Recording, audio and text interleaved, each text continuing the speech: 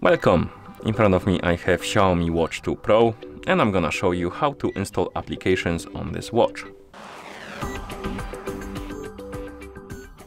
Before we start, if you want to install applications on this watch, you will need a couple of things. Uh, first, your watch needs to be paired with, with a phone via the Mi Fitness application. Uh, another thing you will need is to uh, have your watch connected to the internet so you can download the applications. And another thing, the last one you will need to have is your watch needs to have a Google account on it. So you can use the Google services like Google Play Store to download the applications. Um, to connect your watch to the internet, you can simply open the menu by pressing the crown button, uh, tap on the settings icon, tap on connectivity, tap on Wi-Fi. Uh, make sure that the Wi-Fi is enabled, and then you can tap on Add Network, wait for the list to fill in, find the network you want to connect to, tap on it, enter the password if it's protected, and then after you add it, it should say connected on it, which means that you have internet connection now.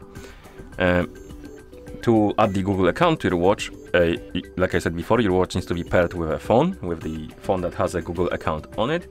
And if it, if it is paired, you can uh, open the settings again, find the Google option, tap on it, tap on accounts, and then tap on add Google account.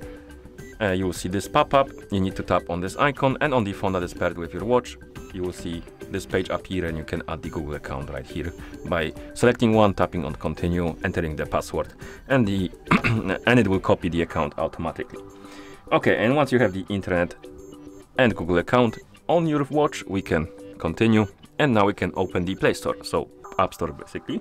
So press the crown button to open the menu uh, find the Play Store icon, tap on it, and uh, let me go back to the main page of the Play Store. That's how the Play Store looks like when you open it for the first time. This is the home page of the Play Store.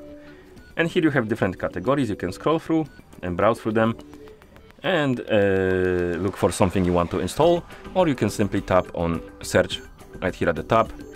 And uh, we have different categories like cl classic watch faces, communication, stuff like that but you can also tap on keyboard or uh, microphone. Microphone is voice input and the keyboard is keyboard of course and we'll open the keyboard. You can type something in uh, like for example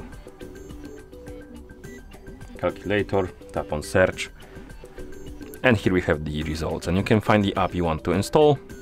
Tap on it. And here we have this big install button but we also can check the reviews the amount of downloads the and description, screenshots from the app and stuff like that. You can check the info. And once you decide to install the application, tap on install. It will start downloading and installing.